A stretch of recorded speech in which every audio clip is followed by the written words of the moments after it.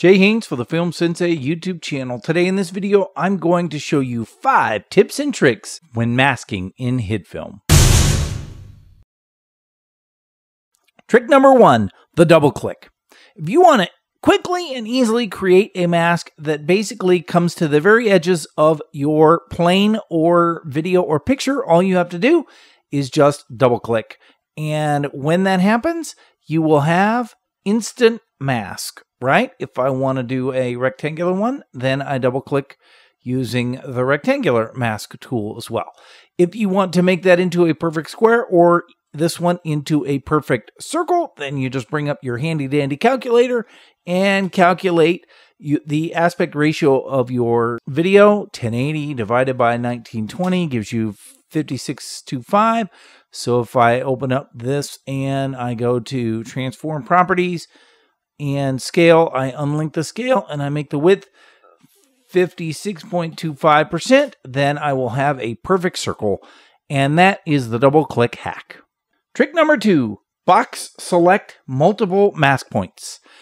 If I have the freehand mask tool selected, I can drag and box select multiple mask points. If I right click on a point, I can invert that selection to grab the other mask points. I can also right click and select all of them as well.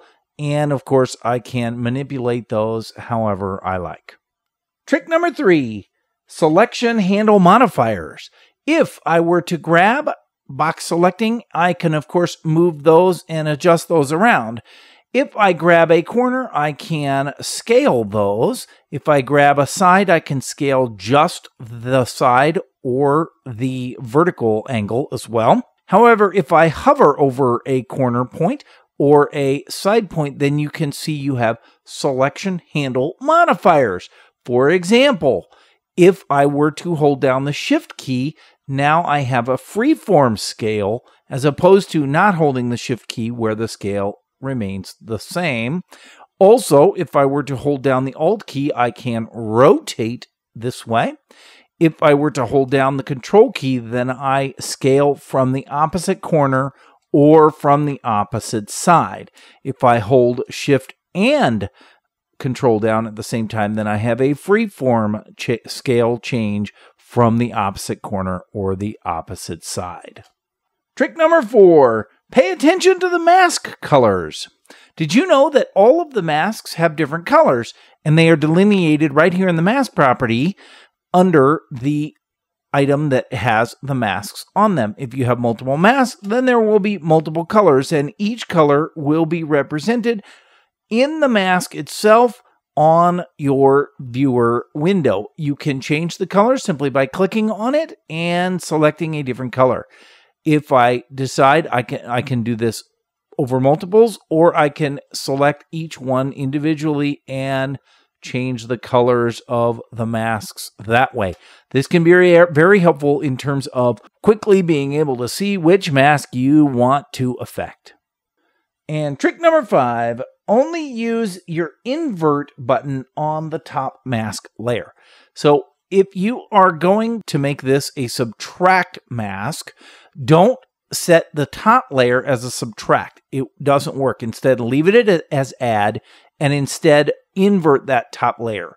Don't ever mess with the inverts of any mask below the top mask. Instead, use the subtract drop down menu item. And here's a bonus trick how to create a border. Using any one of your mask tools, you can create a mask. And then if you right click and duplicate that mask, you can set the second one to subtract. And then with either of the masks, by simply adjusting the expansion, you can create a border that is of any shape. And using the fill color, of course, you can make it any color that you want it to be as well. Very quick and easy to create a border of any style you like. And those are a few tips and tricks on using masks in HitFilm. If you have any questions, please do me a favor, leave them in the comments below. If you like this kind of material, Definitely feel free to like this video, subscribe to the channel, click the little bell icon for notifications, share it with your friends, and as always, thanks for watching.